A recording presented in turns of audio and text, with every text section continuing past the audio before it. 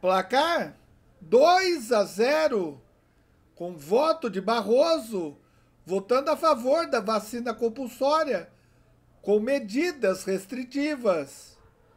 Confira essa história. Luiz Roberto Barroso acompanhou Ricardo Lewandowski e votou pela constitucionalidade da lei que prevê a possibilidade de vacinação compulsória contra a Covid-19, desde que a imunização não seja realizada à força, mas por meio de medidas restritivas. Tudo leva a crer que a tendência é que eles vão restringir a liberdade da pessoa que não tomar a vacina.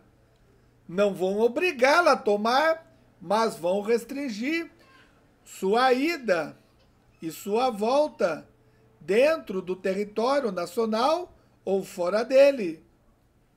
E você, o que pensa sobre isso?